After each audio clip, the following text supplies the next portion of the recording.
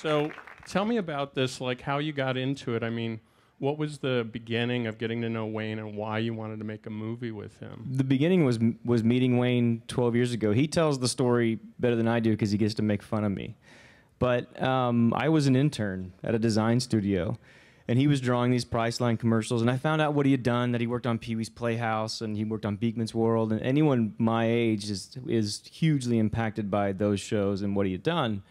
And um, like I said, that was 12 years ago, and I always had it in my head that he'd make this great story because beyond the, the, the resume, he's got this incredible personality that you'll meet, and he's got a really great family, and he's really funny and cool, and he has a beard and plays banjo. And I was like, why is anyone making a movie about this guy? And so eventually it started to get to where I might have the means to actually do that on my own, so I stopped talking about it and kind of kept it a secret. And then one day I went to Samy's Camera in LA and bought a $600 camcorder and flew to Houston and started shooting. Wow, and uh, I mean the other thing that I think is amazing is this is your first like documentary, and um, I mean these guys really collaborated on this, as you'll see and get to know as you get to know their story a little bit. I mean it's it's just a really great story. So it actually opens tomorrow. It opens tomorrow at uh, IFC Center here in Soho, just around the corner. Yeah, awesome. in Los Angeles and Seattle. But you can all tell your friends, and you can all go see it tomorrow night. And uh, Wayne and I will be there at the 6:30. Sorry, Friday night. Friday night. Friday night, not September 7th. And Wayne and I will be there at the 6:30, 8:30, and 10:30 shows to do Q and A afterwards. All right, the man, Wayne White.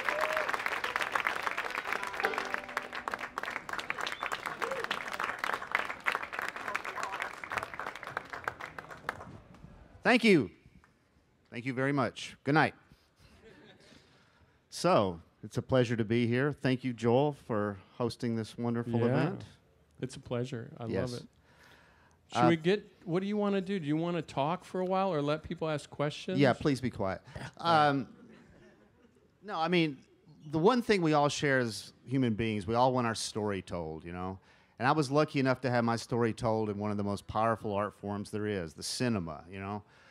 I think movies and music are the quickest way to the human heart. And it's so great to be showing my story around the country and now in the greatest city in the world and having people respond to it and just uh, having people get off on it, you know, be inspired.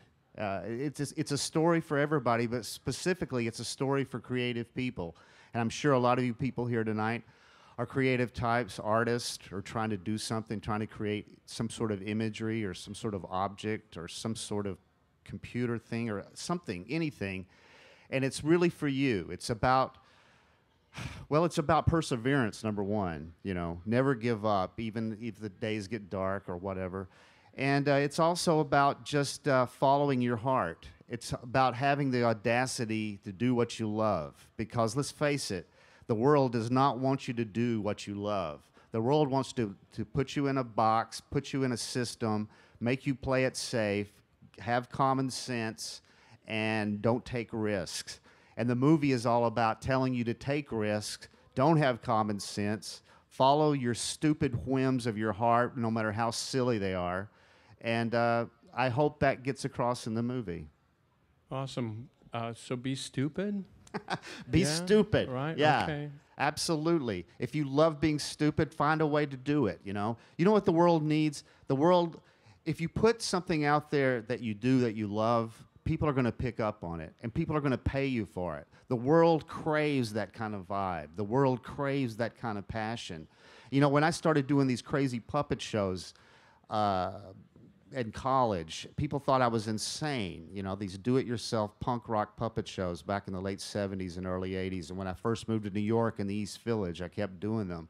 And people would go, Wayne, find a vocation, do something sensible. You know, concentrate on something that's going to make you money. Quit doing these these crazy puppet shows. But lo and behold, the thing that I love the most, this crazy shows, led to the thing that made me the most money, gave me the greatest job in the world on Pee Wee's Playhouse uh, gave me an income to let me buy a house and raise two kids. And it was all because I kept to my guns on that. So that's one of the messages of the movie, also. Do we go to questions now? I feel like we should. Does anybody have a question? We have a microphone. Just raise your hand and we'll come to you. Yeah, there's somebody. Wayne, how do you feel about Todd Oldham stealing your beard? hey, I just was at Todd's just now down on Va- Vesey Street, and uh, we sort of mutually grew them at the same time. You know, it was kind of a, a brothers of the beard kind of thing. So I don't mind. Let's all grow beards. Come on, let's start a trend. Bearded ladies, I'd like to see that. Let's do another clip. Well, I mean, a big part of the movie and, and, and Wayne's life is, and why I was so inspired to do it is he's this guy that gets up every day and just makes and creates. And whether he has something to do for a job or just, just on his own, he gets up and you can't sit with him for five minutes without him picking up a pencil and drawing or doing something. There's this natural inclination to always be making and creating. And um, we discovered that in uh, Tennessee with his good friend Mike Quinn. We went back there, and in two days, with a pile of cardboard, just a dumpster full of cardboard, they, they built this beautiful puppet. And that's what we're going to see next, right? Yeah. This is about just, uh, this is me com- going to a, a, a boarding school down in Tennessee. It's called the Webb School. And my best friend in the world, Mike Quinn, if you go, go see the movie, you'll learn more about him. He's my spiritual brother in Tennessee. We started off doing puppet shows together way back when. He stayed in Tennessee. I went to New York City. And I, I use him as my touchstone to always go back and get rejuvenated as an artist. He always reminds me about the true spirit of art making. It's not about clients, and not, it's not about to be sexy on the streets of New York. It's not about to be better than the other guy. It's just a pure childlike sense of play. And that sounds corny, I know, especially here in the tough streets of New York. But that's another thing you got to remember as an artist. It's all about playing if you're not playing, then you're doing something out of sync with the spirit of art. The, the spirit of art is about play. Now, I could be debated down to the ground by a lot of serious art critics and a lot of tough, bitter, embittered people that say, you know, art should be suffering, art should be an investigation into semiotics, and it should be a, a way to investigate, blah, blah, blah, blah, blah, blah, blah. Fuck all that. Let's play, let's have fun. If you're not having fun, nobody else is going to have fun, you know? Art is, a is, is, is about letting the spirit soar. Again, all corny shit, all true.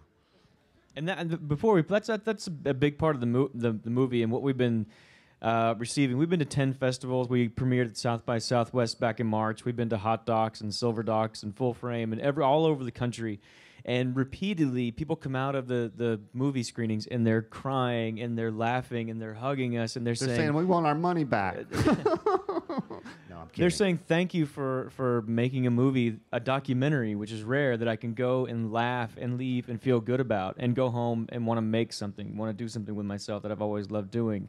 Like it it really is not your typical doc fair. It's it's very funny. Wayne's a really funny guy, and he's very inspiring, and you'll feel like you'll do cartwheels out of the theater. I think. Yeah, it's got this real unspooling feeling where that just keeps coming and coming, and you'll start to see as it goes how much stuff Wayne has done and how much stuff he's doing. It's really like a sensory overload in a really good way. So, uh, should we run that? Absolutely. You guys did. Um, I mean, in the movie, and we don't have any clips of it, but but a moment that's amazing to me is this show you guys did for public television in uh, Chattanooga, no, in Nashville. in Nashville, Mrs. Caboose. Mrs. Cabobble's Caboose. Yeah, it's. I mean, it's. it- You can see it on YouTube.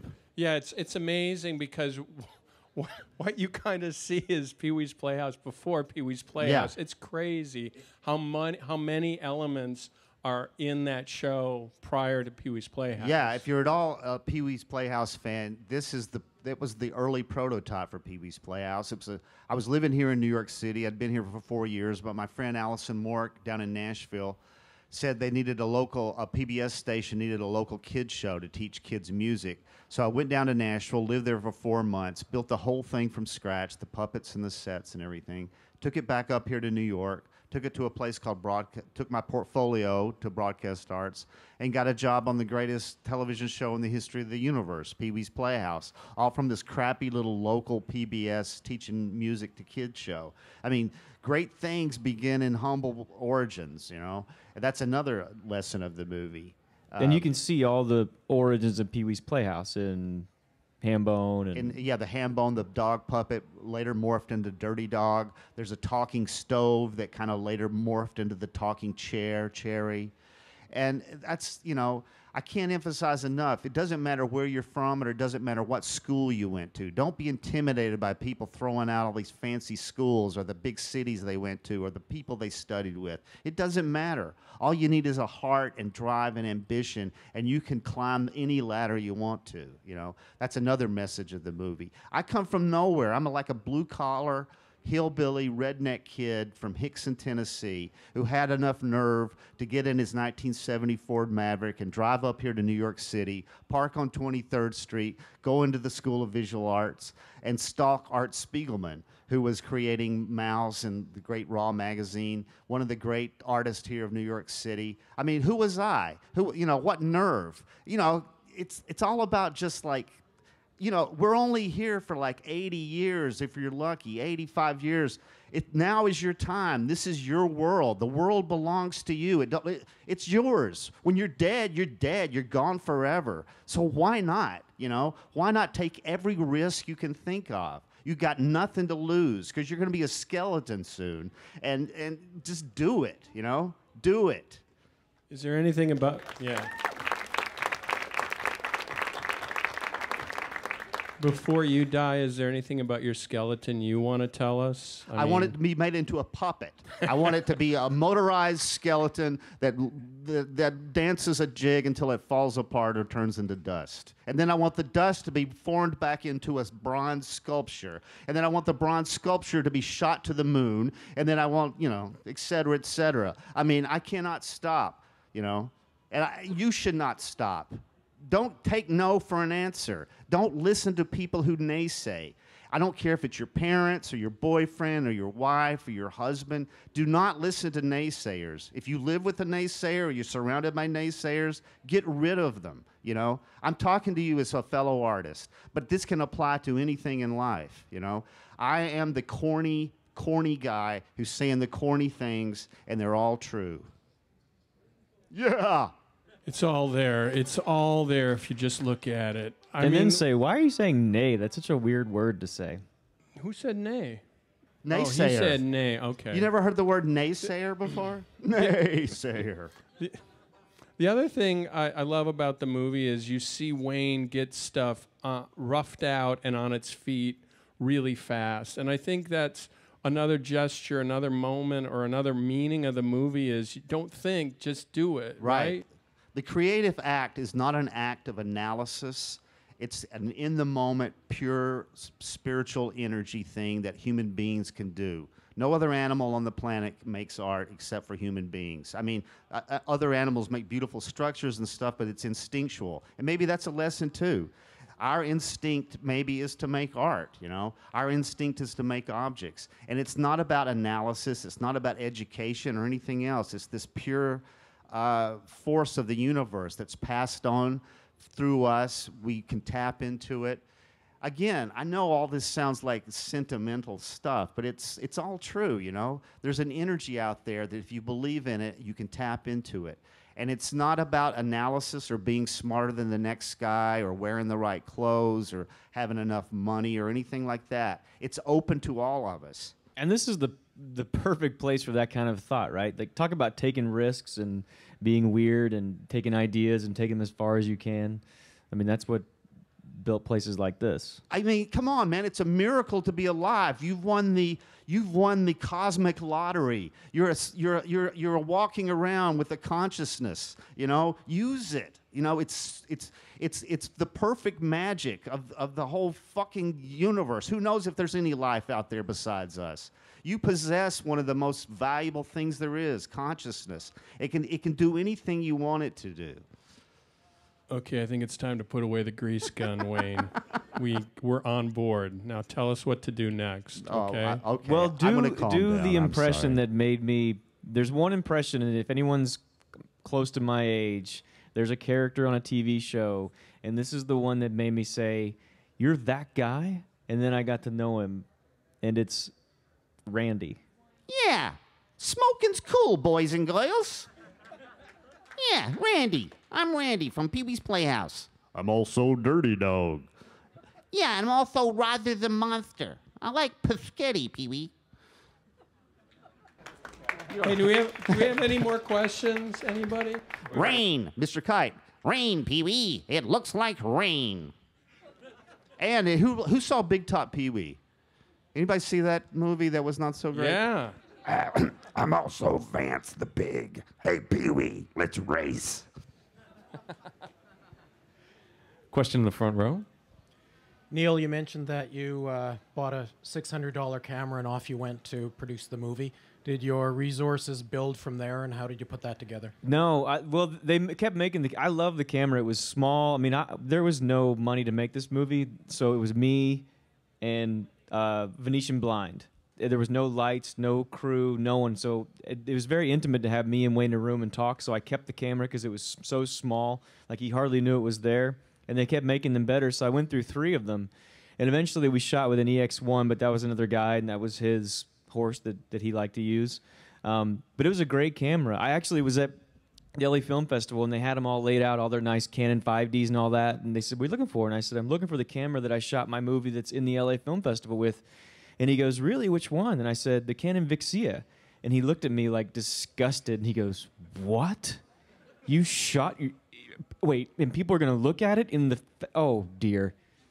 and he was he was not happy and i said no it looks great you know come see it and eventually they warmed up to it but yeah no that i love that camera um, and i highly highly recommend anyone going to make a movie or anything that goes and gets one right now Next question to the left in front of you. I'm just uh, curious about the filmmaking process, and you know, Wayne, as an artist and a creative yourself, did you find yourself having to let go a little bit of control so that Neil could, you know, narrate the story and carve it? And then Neil, did you find did you find it difficult to work with a fellow artist in, in you know creating the documentary, or was it more collaborative? Doggo, uh, no, absolutely not. I mean, the one thing is, and I, I, and I t- like again my first movie, and I tell people this, and they're they're shocked by it. Um, there, he was not in the edit bay. He, ne- I, I would go there every day and say, "Will you do this? Will you do this?" And he never said no. He would do anything I asked and talk about anything I asked to talk about. Um, there's a scene in the movie where he builds an LBJ puppet head with his son, and eventually wears a suit. And we we walk two miles up this hill, and he dances around the Hollywood Hills wearing this big cumbersome LA, uh, LBJ puppet head, which will be at IFC Center on Friday night. Um, and it was amazing. He never said no and would do anything. So I had I had the the, the, the best a, a director could ask for. Well, and I did not uh, it, uh, insert myself into the filmmaking process at all. You know, I did not want to see daily footage, mainly because I didn't want to become self-conscious. When I start looking at myself too much, it kills the the moment. It kills the spirit. Plus, I, I practice the uh, artist's golden rule. Uh, when I work with a, a fellow artist, when I collaborate with them, I want to be, I want to treat, I'll treat them like I want to be treated. You know, I wouldn't want Neil hanging over my shoulder telling me how to make a painting, and I certainly wasn't going to hang over his shoulder telling him how to make a film. Now, again, that goes back to risk taking. That's a risky move to make. You know, putting your life and your life story in the hands of somebody and hoping it comes out okay. But I did because I think that was the only approach that's feasible. You know, if I'd gotten involved in it, my ego would have been like control. Oh, make me look better here. Oh, you know, I trusted his instincts. And I crossed my fingers, and uh, I didn't see it till it premiered at the South by Southwest Film Festival in Austin with a crowd of people. And uh, luckily, it came out great. Of course, it could have gone south. It could have been bad. I could have been mad. I could have sued, or it could have, it could have been all kinds of darkness going on, but it didn't. And and that risk taking has gotten me into a lot of trouble in my career. I have I have taken risks that do not pay off, and it's been it's been bad news.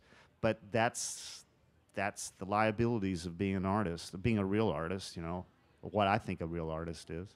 Was was there anything any part of your story that you kind of didn't see until this m- movie came out, like that wasn't clear to you or came out?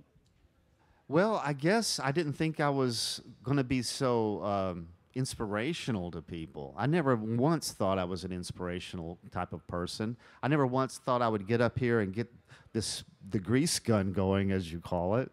But I can't help myself. I get up in front of people and I feel uh, a need to like pour my soul out. I know it's a bit embarrassing and that's part of the what that's part of uh, the title of the movie. Putting yourself out there on the line is an embarrassing thing. Uh, putting your emotions on the line is a very embarrassing thing, especially in our culture, especially for men. We're told, to, you know, to be the strong, silent type. We're told not to uh, show so much emotions. You know, we're supposed to be like these rigid, hard guys. You know, and it's embarrassing. And, and emotion is truth, and truth is beauty, and beauty is embarrassing. Yeah, I mean, Neil will attest to this when you get to know Wayne. He kind of draws you in to uh, your kind of creative self. Like I, this happened to me. I got to go up and visit Wayne's house, and I was just kind of thinking I'd go up there and try to scam him out of a painting or trade him like a robot for a painting. And next thing I know, we were like draw. He, we were We were drawing with each other and started co- cooking up stuff. And so it, it, I mean, the show side of Wayne is the symphatic, like you, you know, the story of creativity and encouraging people. But in real life, it just happens around him. And when you're around him, I think that's kind of w- what I experienced too. And that's what got me so excited about getting to know them and working with them. Yeah, you definitely you see like the work ethic and the drive to create, and that does rub off absolutely, and it makes you want to do more and more. Like if you see this person who's willing to to really go for it and put themselves out there, you kind of think, okay, well I'll put myself out there. If he'll do it, if he trusts me to to do that, then I should go along with him. You know, I, I'll I'll push that. Uh, that makes me think too, just emotionally, kind of like what what's happening.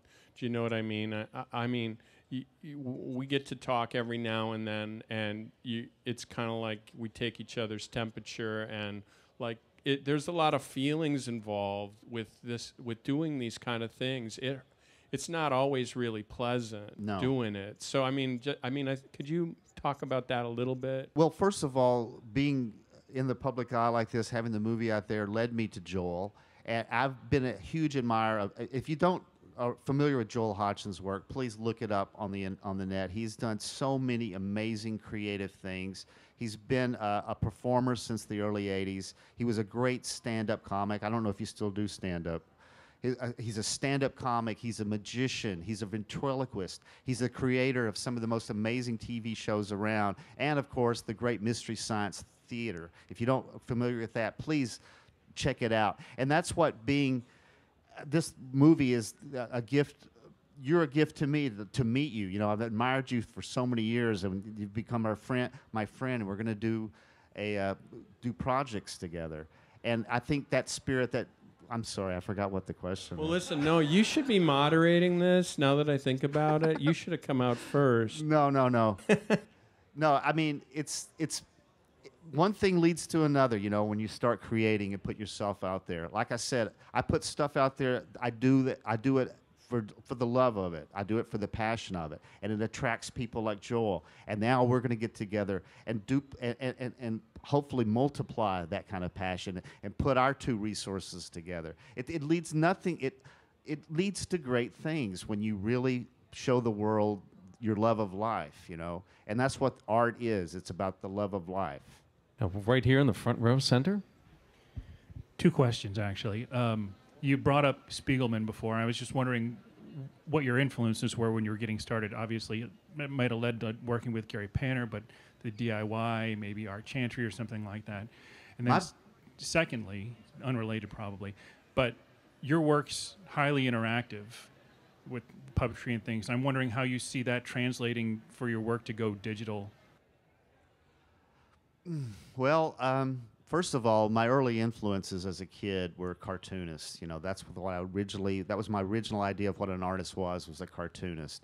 And I loved Mad Magazine. You know, I think that's what eventually one of the things, and Mad Magazine was all about the great tradition of Jewish humor coming out of New York City. You know, Mort Drucker, uh, uh, Jack Davis, Al Jaffee, uh, all the great mad artists, Harvey Kurtzman, of course that that was a big influence on me. And then as I matured, I loved underground comics. Robert Crumb was a big influence. I love uh, Ralph Steadman, the illustrator.